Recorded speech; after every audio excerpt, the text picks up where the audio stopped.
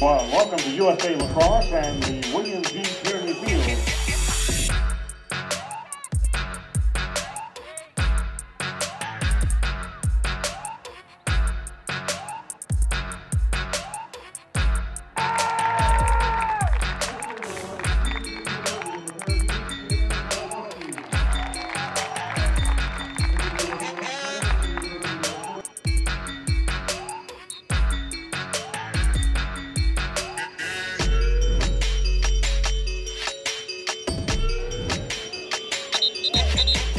Joe Dyke Pittman comes left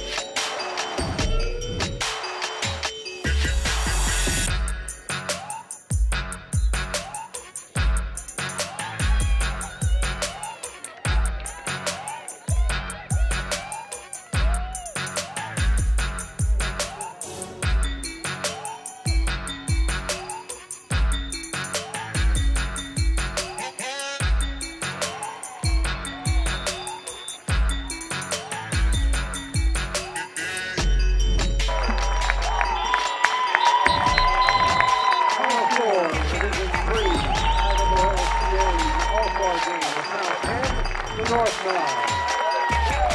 Let's give another round of applause for young women for their achievements in four years of college and elections to the All-Star team.